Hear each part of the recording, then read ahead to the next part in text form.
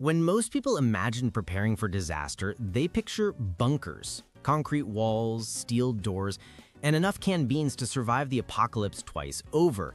But here's the truth. Most bunkers were bad ideas, expensive, suffocating, and in more than a few cases, deadly.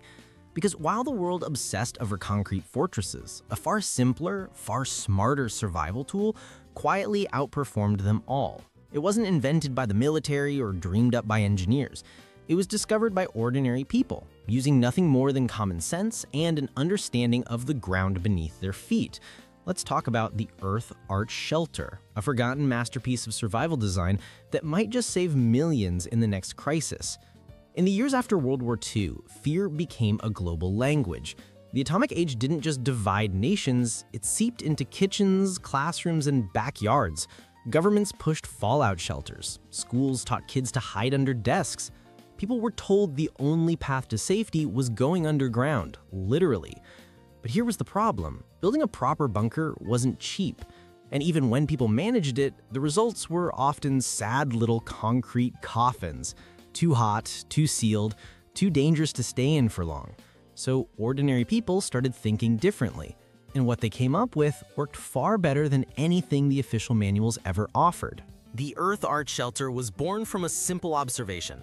The ground itself protects better than concrete, so builders stopped trying to fight nature and started working with it.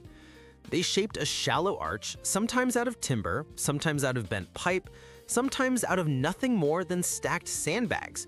Then they covered it with the most abundant material on Earth, soil. Not much, just a few feet. But here's the wild part. Tests showed that compacted Earth could block more heat and radiation than many official nuclear shelters. Why?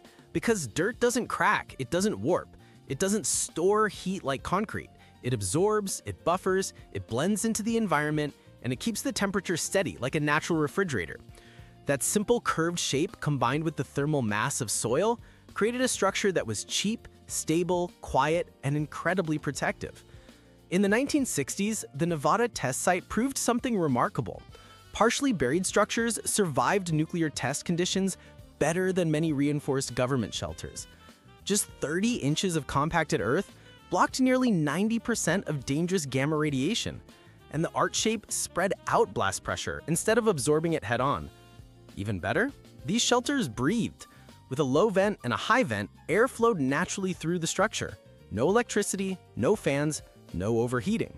Where concrete bunkers became damp, moldy, dead air traps, earth arch shelters stayed cool, dry, and breathable. Nature was doing the engineering. And here's what's fascinating. This design didn't die with the Cold War. Preppers still use it. Off-grid communities rely on it. Eco-builders have revived it. Even modern architects use earth-bermed arches for sustainable homes that regulate their own temperature without a single watt of electricity. Dig into a slope, build an arch from wood or sandbags, pile on the earth, add two simple vents, and you have a storm shelter, a storage room, or a safe retreat that works in any crisis.